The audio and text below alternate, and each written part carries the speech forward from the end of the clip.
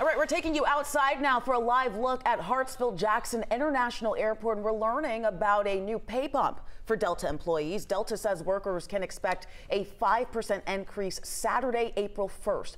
It covers all employees worldwide from flight attendants to ground crews, and the only employees it doesn't apply to are those covered by an industry, government, or collective bargaining agreement.